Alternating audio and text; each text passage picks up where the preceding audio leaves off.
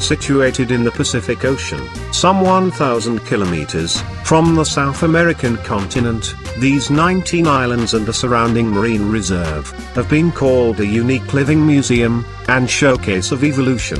Located at the confluence of three ocean currents, the Galapagos are a melting pot of marine species.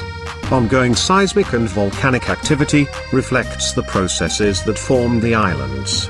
These processes, together with the extreme isolation of the islands, led to the development of unusual plant and animal life, such as marine iguanas, flightless cormorants, giant tortoises, huge cacti, endemic trees, and the many different subspecies of mockingbirds and finches, all of which inspired Charles Darwin's theory of evolution by natural selection, following his visit in 1835.